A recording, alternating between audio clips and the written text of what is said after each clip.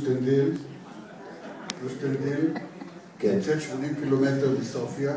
אני הייתי שם, כן, והרבה היו שם כמובן. העיר של פשב, חמישה חסידי אומות העולם קמו בקיוסטנדיל, אחד מהם זה פשב, הקימו מוזיאון פשב בקיוסטנדיל, זה בעצם הבית שלו, שהיה בפרברים של קיוסטנדיל, העתיקו אותו, בנו אותו מחדש במרכז העיר, עכשיו זה הפך למוזיאון, ומר קיוסו, יש לי וידאו שאתה שם נואם בטקס פתיחת ה... הקמנו אותו בכסף של אבל יש לי וידאו שאתה נואם שם. יש גם רחוב פה, יש כיכר על שמו פה באיזשהו מקום. כן. מה זה פה? פה, פה, ממש, ממש על יד המזרקה. על יד המזרקה, כן. על יד- המזרקה יש אה, כן, כן. לזכר יודע. פ- פשע. אז יש שם חמישה חסידי אומות העולם, עיר אחת קטנה, סך הכל 50 אלף איש. כן, אז עכשיו הכנס. עכשיו הכנס, זה היה בבר אילן לפני משהו כמו שבועיים. זה היה מרתון, זה. היה מרתון יהודי בולגריה. כן.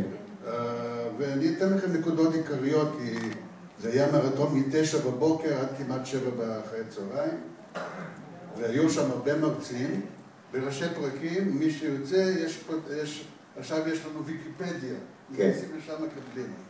אז התחיל את הכנס דוקטור רפי ואג, אתה מכיר אותו, כן. באוניברסיטת תל אביב, הוא דיבר על בולגריה בבלקנים, והוא הזכיר אמרה של צ'רצ'יל, שאומר ככה, זה קשור גם להרצאה של הרופא. הבלקנים מייצרים היסטוריה וגם חדשות, כי היו שם המון מלחמות ב, ב, ב, בבלקנים. בולגריה הייתה 500 שנה תחת שלטון טורקי, הטורקים ריסקו את בולגריה, הם הרגו 100 אלף בולגרים, הם היו חוטפים ילדים, מאמנים אותם להיות חיילים, קוראים להם יניצ'רים. רובכם יודעים את הדברים, אבל זה תזכורת. תזכורת, כן. ב-1878 נגמר השלטון העות'מאני ובא השלטון הרוסי. בולגריה היא מולדת התרבות הסלאבית.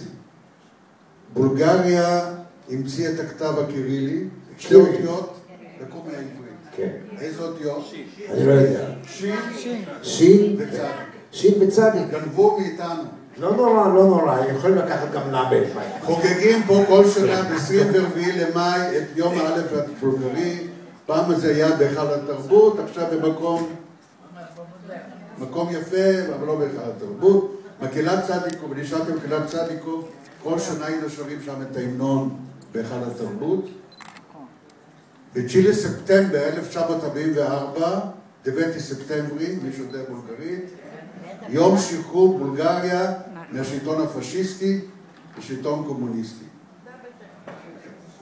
1989, נפילת השלטון הקומוניסטי, ותמיד בבולגריה טענה שבולגריה היא לא חלק מאירופה בנושא של השמדת יהודים.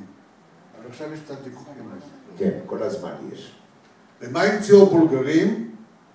המציאו את היוגורט, שזה, בזכותו הרבה בולגרים מאריכים חיים, יש שם איזה חיידקים שם, וגם המציאו את הגבינה הבולגרית, שעכשיו היא נקראת פיראוס, אבל זו גבינה בולגרית שהבולגרים המציאו.